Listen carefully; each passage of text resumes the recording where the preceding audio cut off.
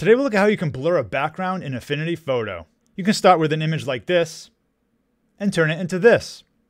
Now as with many of these techniques, the first step is to select your subject. In this example, I want the person to stay in focus and the background to be blurred.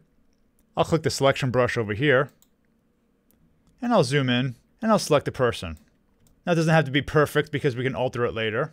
I'm holding Alt to undo selections, so if I select too much, like this space here between the legs, I'll hold Alt and then click in there and it'll unselect it. And now I'll make a mask, so I'll click Mask Layer. And now the person is cut out here. Let me drag out the mask up here. I'll turn it off. What I want to do now is duplicate this layer. So with this layer selected, I'll just press Ctrl C, Ctrl V. I'll call this top one the person. And I'll just leave the background the same. And I'll drag the mask onto the person layer here. Now I'm going to hide the person layer for a second. What we want to do is remove the person from our background layer. Because if we leave them there, when we blur it, it's going to show that person around our person on the top layer.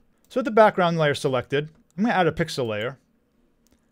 I'm going to select the inpainting brush tool. And I'll make sure it's set to current layer and below up here. Very important. Now I'm going to do is I'm going to paint on the person. Then I'll let go. And the person is gone. Now typically you want to be very careful when using this tool. You want to make sure that the area filled in actually makes sense. But because the person is going to be covering most of this, and it's going to be blurred anyway, we'll be allowed to get away with a little more inaccuracy. So on our person layer, let's go there and add in the mask. Now let's add the blur filter. That's a type of live filters. I'll click on my live filter here. And the most basic blur is all the way at the top, the Gaussian blur. So I'll click that. Now make sure it gets added into the right place. I'll take the Gaussian blur out here, and I'll put it above my pixel and background layer. That's my inpainting layer. And now I can increase the radius. So I'll do it really extreme so you can see the effect. This is what's happening to our image here. So let's put it somewhere in that 2 pixel, 3 pixel range. I think there is pretty good. So we have before, after, before, after. Now when you do this, you're probably going to notice some inaccuracies with your mask. I can see the legs down here didn't come out too well. So I can select my mask. I can click a brush. And you can clean up things as you like. So I'll just clean up the legs a little bit here. Down over here. And obviously the more attention you put into this part, the better your result will be. Now something you'll probably notice is that the bottom area looks kind of unnatural. Because we have the blur effect taking place right next to our person.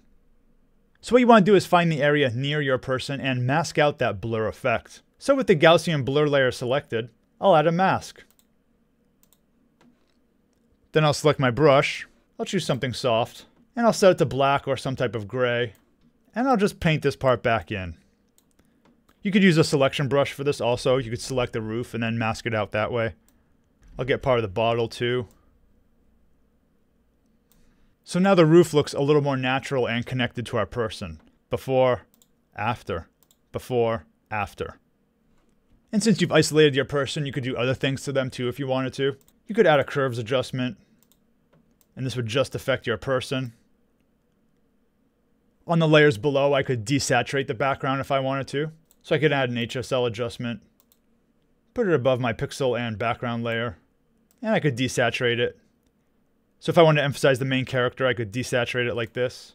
Now one other little detail when using blur filters is you may notice the edges of your image. If I zoom in here, you see this transparency is coming in there. The way to fix that is to select your blur filter and then click preserve alpha. So it's going to fill in that area there. So if I zoom out, now you can see my edges are in much better shape. So let's look at our final result. Before, after, before, after. If there's any topics you'd like to see covered, let me know down in the comments below. Thanks for watching and see you in the next video.